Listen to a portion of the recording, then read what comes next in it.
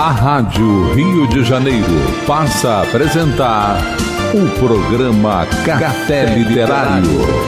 Produção e apresentação Henrique Fernandes. No dia 31 de janeiro do ano de 1915, nasceu, na França, Thomas James Merton. Ele está entre os mais conhecidos místicos do século XX um homem de grande conhecimento, de cultura acadêmica, mas se tornou conhecido e admirado, sobretudo, pela sua profunda espiritualidade. No programa de hoje, nós vamos conversar sobre o trabalho dessa grande figura. A editora Vozes lançou, no ano de 2017, uma nova edição de uma das mais conhecidas obras de Thomas Merton. Novas Sementes de Contemplação. Essa edição foi lançada em parceria com a Sociedade dos Amigos Fraternos de Thomas Merton. E para falar sobre essa obra em particular, mas também sobre o trabalho em sentido mais amplo, a contribuição da mística de Thomas Merton, nós vamos conversar com um amigo, Nilson Perecer. Nilson tem mestrado em gestão tem formação na área de psicanálise e trabalha com a escuta do sujeito trabalhador em suas atividades na empresa onde ele atua. Nilson vem fazendo seu percurso religioso, espiritual, com esforço, com dedicação, em paralelo a uma formação bastante variada. Além disso, Nilson é integrante da Sociedade dos Amigos Fraternos de Thomas Merton, e desde que teve o seu contato com esse autor, ele vem aprofundando seus estudos através de leituras e de retiros. Nilson, obrigado por aceitar o convite. Que bom que você está aqui conosco nesse programa. E eu começaria pedindo a você que falasse um pouco para os nossos ouvintes sobre a vida e a obra de Thomas Merton. Olá, Henrique. Saudações a vocês, ouvintes. Olha, falar de Thomas Merton em pouco tempo é um grande desafio. Nós estamos falando de uma vida, de uma obra que tem rendido biografias, teses de doutorado, artigos de revista, matérias em jornais. Enfim, tudo que eu falar aqui vai ser pouco diante de um autor que é tão rico em ideias, inspirações, intuições, uma obra sólida, que até hoje, 40 anos depois da sua morte, continua sendo editada. Ah, eu acho interessante começar falando que Thomas Merton esteve conosco por pouco tempo 53 anos de vida apenas, vividos entre 1915 e 1968. A vida dele teve como pano de fundo duas guerras mundiais e uma parte da guerra do Vietnã, que foram grandes marcas do século XX. Né? É interessante que, ao falarmos de Thomas Merton hoje, parece que estamos falando de um santo mas é bom lembrar que até os 26 anos de idade ele viveu como qualquer jovem. Se apaixonava, namorava, bebia, participava de noitadas com amigos, lutava para ter uma vida com sucesso material, reconhecimento intelectual. Mas após uma série de reflexões e situações que aconteceram relativamente rápidas, aos 26 anos de idade, ele entra para a abadia de Nossa Senhora de Getsemane, em Kentucky, Estados Unidos, onde lá sim ele vai viver pelo resto da vida como um monge trapista, vai aprofundar o seu encontro com a espiritualidade contemplativa é, e ao longo dos anos vai construir um perfil inusitado de grande escritor católico, pacifista, conhecedor de espiritualidades ocidentais e orientais, e com isso ficar conhecido como um dos grandes místicos do século XX. Thomas Merton é isso, né? um dos grandes místicos do século XX. Dizem que Alceu Amoroso Lima o considerava o São João da Cruz do, do, daquele século. Nesses 27 anos que Thomas Merton viveu como monge, escreveu compulsivamente artigos, livros, cartas. Entre os livros publicados em vida e os livros póstumos, soma-se mais ou menos 70 livros a maioria deles sobre espiritualidade e contemplação. No Brasil, desses livros foram publicados cerca de 40, desde a década de 1950 até hoje. Esses livros e artigos ajudam a aprofundar a vida espiritual de muitos cristãos e mesmo dos não cristãos do mundo inteiro, e certamente têm o poder de influenciar a mim, a você, Henrique, e a vocês, queridos ouvintes. Queria falar rapidinho sobre o livro que apresentou Thomas Merton para o mundo. Foi a história da sua própria vida que ele publicou aos 33 anos. Um livro chamado é, A Montanha dos Sete Patamares. Esse livro mostra Thomas Merton como um jovem inquieto, por certo bem neurótico, que acabou encontrando a paz dentro dos muros de um mosteiro, na solidão, na contemplação, no silêncio. É um livro interessante, pois mostra um jovem até bastante fútil, bem parecido com qualquer um de nós, mas que ao longo dos anos vai se transformar num gigante espiritual. Todo o resto da sua obra vai revelar a sabedoria e a fineza espiritual que ele adquiriu tudo aquilo que ele foi aprendendo através das suas leituras, das suas intuições, das suas vivências. Um desses livros, Henrique, é uma pérola está sendo republicado agora pela editora Vozes. Esse livro se chama As Novas Sementes de Contemplação.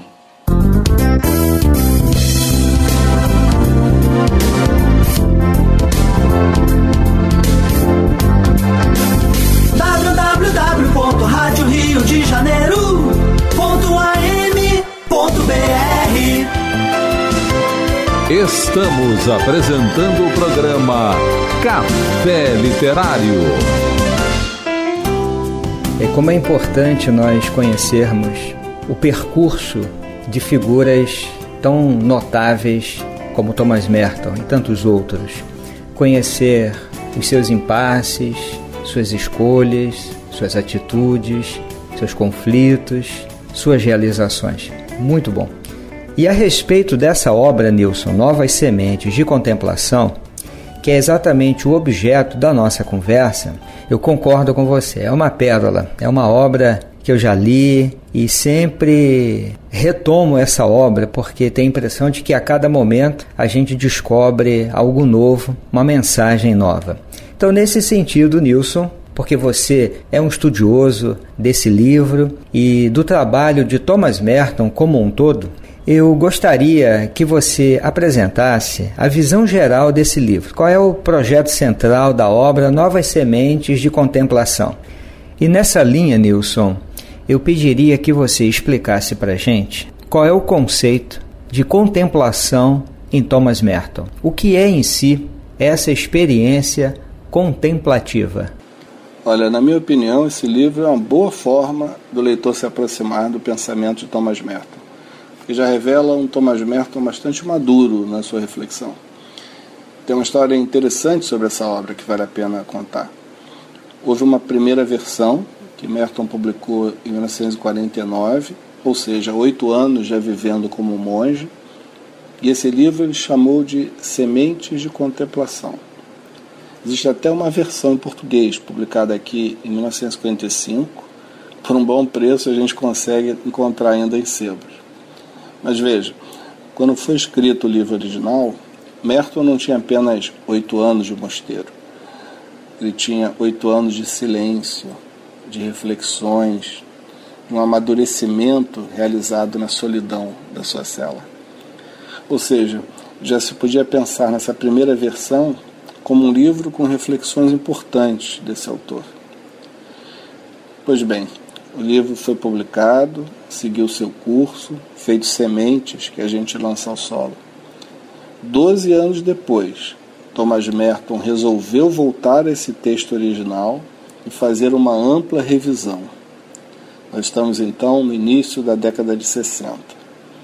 A essência desse trabalho de revisão dele continua a mesma, mas há vários acréscimos, daí o original cujo título era Semente de Contemplação, ter virado este Novas Sementes de Contemplação.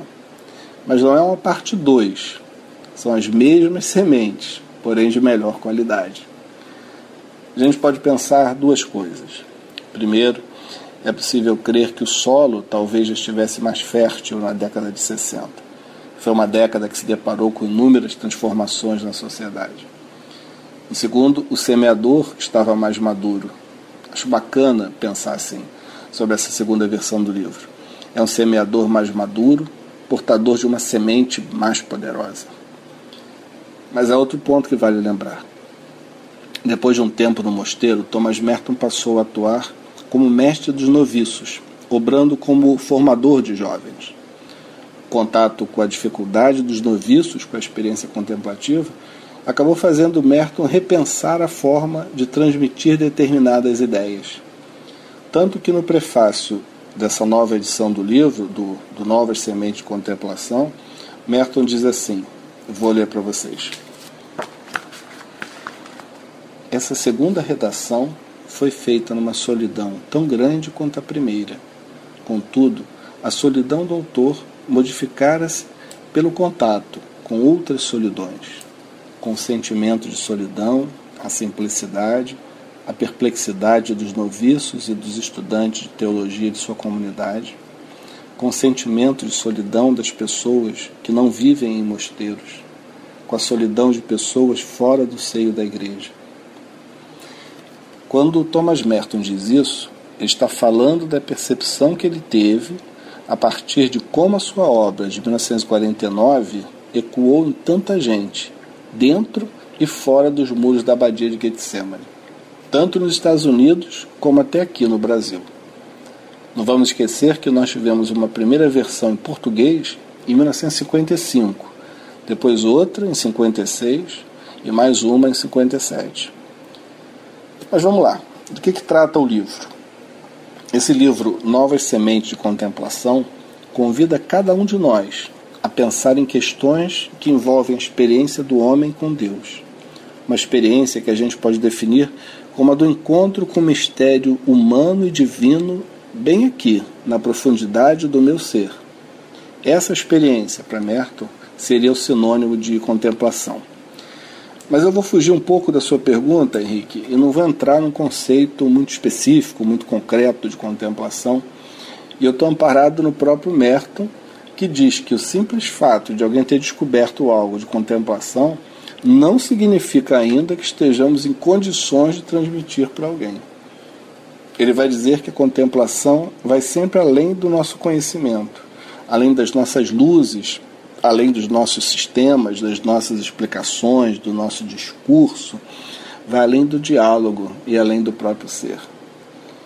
Contemplação implica em despertar a consciência sobre a realidade da nossa fonte divina e preparar o nosso solo interior para Deus. Merton diz assim, está aqui no, no livro.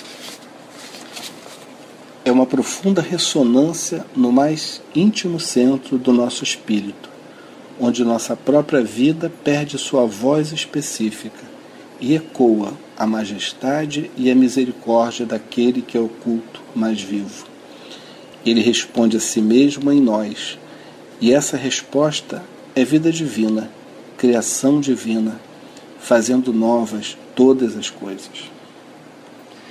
A contemplação pressupõe uma união mística, transsubjetiva, na qual dois sujeitos, nós mesmos e o Cristo Deus que habita em nós, vão se encontrar numa união afetiva. Um ponto que a obra Novas Sementes de Contemplação traz e que é bem proveitoso para nossa iniciação à contemplação são perguntas como: por que esse encontro com Deus ou com Cristo falando em nós é algo tão difícil? O que há em nós que nos atrapalha nessa busca? Thomas Merton vai dizer que não é possível pensar em contemplação sem que o homem se volte para si mesmo e daí ele tocar no seu livro em temas da pauta da psicologia. Ele trata de assuntos como falso eu e como verdadeiro eu, que são elementos centrais, por exemplo, na psicologia analítica do Carl Jung. Jung falava de persona, a máscara social que a gente usa para interagir em grupo. É uma máscara, mas muitas vezes nós usamos tanto que acabamos esquecendo que é um verdadeiro eu do qual nós estamos alienados. Jung falava então do processo que ele chamava de individuação, através do qual nós podemos encontrar a nós mesmos e acessarmos o nosso verdadeiro eu. Thomas Merton falava da mesma questão. Ele acreditava que o mal-estar estrutural do homem estaria na sua fixação ao falso eu e numa absoluta falta de conexão com o eu verdadeiro. Para ele, Thomas Merton, esse falso eu começa na nossa inserção social e na identificação com uma identidade que a sociedade julga ser desejável para mim. O falso eu é o homem que eu quero ser, condicionado pelo desejo dos outros, mas que não passa de uma ilusão. Daí Thomas Merton dizer que para que eu me torne eu mesmo, devo deixar de ser aquilo que sempre pensei que eu queria ser. Sair das imagens que os outros projetaram para mim. Ele vai dizer assim: Enquanto não sou outra coisa senão aquilo que nasceu de minha mãe, estou tão longe de ser a pessoa que eu deveria ser que poderia até nem mesmo existir. De fato, seria melhor para mim nem ter nascido. Essa construção leva ao conceito de santidade que Thomas Merton traz nas suas obras. Há um capítulo fundamental nas Novas Sementes de Contemplação. Se chama As Coisas em Sua Identidade, onde Thomas Merton vai buscar a metáfora de uma árvore. É um texto muito bonito. Eu queria é, ler apenas dois pedacinhos aqui para vocês. Ele diz assim: Uma árvore glorifica a Deus sendo uma árvore pois sendo aquilo que Deus tenciona que seja, lhe obedece. Ela consente, por assim dizer, aceita seu amor criador, expressa uma ideia que está em Deus e não é distinta da essência de Deus. Uma árvore, portanto, imita Deus sendo o que é, uma árvore. Quanto mais uma árvore se assemelhar a uma árvore, tanto mais se assemelhará a Deus. Se ela tentasse assemelhar-se a outra coisa qualquer que nunca foi destinada a ser, seria menos semelhante a Deus e, portanto, lhe daria menos glória. Mas e você? E eu? Ao contrário dos animais e das flores, não nos basta sermos o que a nossa natureza pretende ser. Não nos basta sermos pessoas individuais. Para nós, a santidade é mais que humanidade se nunca formos mais que homens, mais que gente, não seremos santos e não poderemos oferecer a Deus a adoração que consiste em nossa imitação dele e que é precisamente a santidade. É verdadeiro dizer que para mim a santidade consiste em ser eu mesmo e que para você ela consiste em ser você mesmo e que em última análise a sua santidade jamais será minha e a minha jamais a sua, a não ser na comunhão da caridade e da graça. Para mim, santo significa ser eu mesmo. Portanto, o problema da santidade e da salvação é em realidade o problema da procura de quem sou e da descoberta do meu verdadeiro ser. Lindo isso, né? Então, essas são apenas algumas reflexões com que o livro Novas Sementes de Contemplação nos provoca. É um livro que instiga, que trata das nossas questões mais essenciais e que transcendem a religião, qualquer que seja a minha ou a sua. Merton diz que o livro não se dirige principalmente aos católicos, pois seu tema é universal, é atemporal. Serve, portanto, a católicos, a protestantes ou espíritas esse livro encantou muitos corações quando foi publicado pela primeira vez. E eu acredito que ele tem o poder de alcançar os corações desta década, na reedição promovida pela editora Vozes, com a colaboração da Sociedade dos Amigos Fraternos de Thomas Merton. Nilson, seus comentários são bem esclarecedores. Eu tenho certeza que ficou muito claro para todos os nossos ouvintes qual é o projeto central dessa obra. Um livro que, por tudo que você disse, é um convite ao estudo, à meditação, à reflexão, a essa experiência interior. Um livro que certamente diz muito mais do que as palavras que estão escritas. Nilson, você podia falar um pouco para a gente sobre o cenário dos estudos e trabalhos relacionados à obra de Thomas Merton aqui no Brasil? Então, essa pergunta é muito oportuna porque nos ajuda a falar da intimidade do Brasil com Thomas Merton e um pouco do que tem sido esse feliz relacionamento que já conta algumas décadas. Desde a década de 1950, os livros de Thomas Merton despertam interesse entre nós.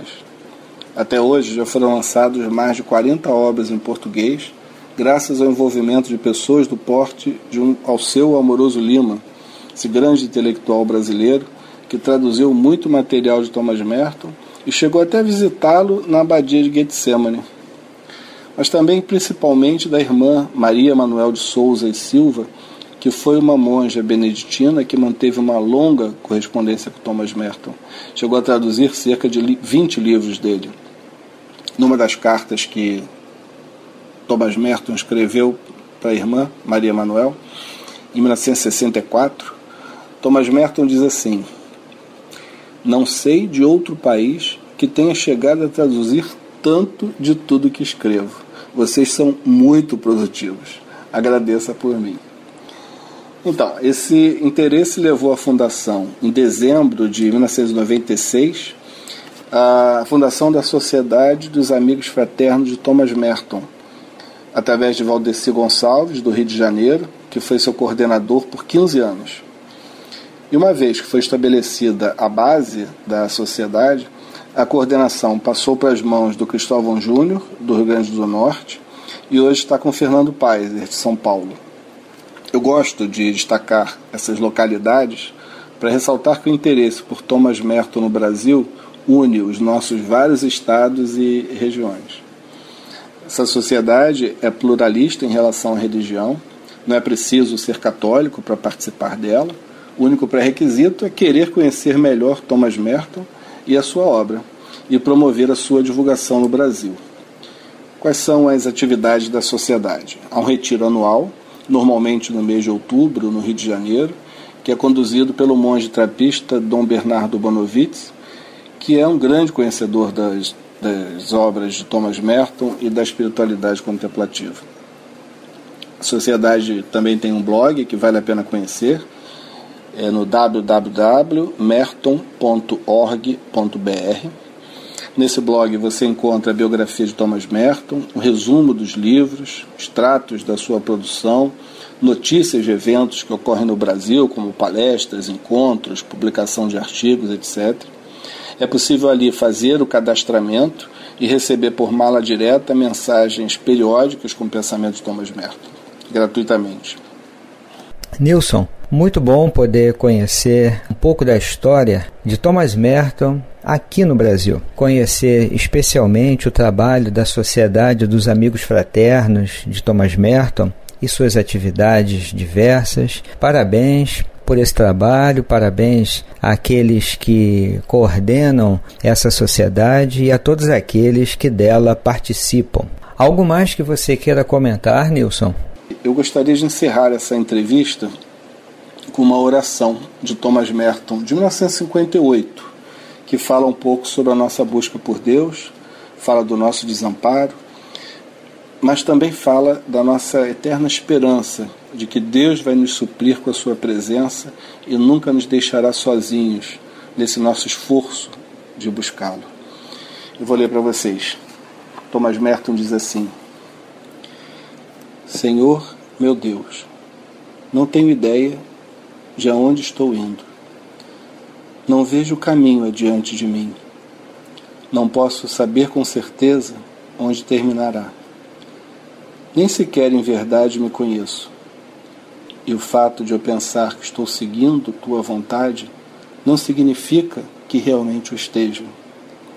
Mas acredito que o desejo de te agradar te agrada de fato. Espero ter esse desejo em tudo que estiver fazendo. Espero jamais vir a fazer alguma coisa distante desse desejo. E sei que, se assim agir, tu has de me levar pelo caminho certo, embora eu possa nada saber sobre o mesmo. Portanto, hei de confiar sempre em ti, ainda que eu possa parecer estar perdido e sob a sombra da morte. Não hei de temer pois tu sempre estás comigo e nunca has de deixar que eu enfrente meus perigos sozinho. Obrigado, Henrique. Obrigado, ouvinte. Grande abraço a todos. Meu amigo Nilson, muito obrigado por sua participação, por você ter compartilhado com os nossos ouvintes um pouco do seu conhecimento, das suas reflexões. Muita paz para você. Amigo ouvinte, aqui nos despedimos. Lembrando que este programa será reprisado na próxima quarta-feira, no horário das 12h30. E você pode fazer contato conosco pelo e-mail café literário rádio Rio de Janeiro.am.br. Até breve. A Rádio Rio de Janeiro apresentou o programa Café Literário. Produção e apresentação Henrique Fernandes.